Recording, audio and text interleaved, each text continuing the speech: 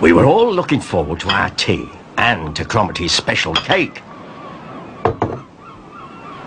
Mmm, smiled Lady. That cake looks delicious. Aye, well, I could have been a great chef, boasted Cromarty. But when he tried to cut the cake, it was a different story. It was so hard it broke the knife.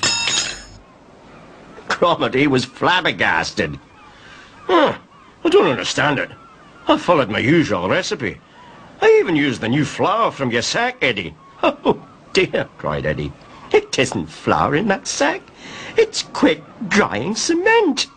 Now, as you can imagine, that was the end of our tea party.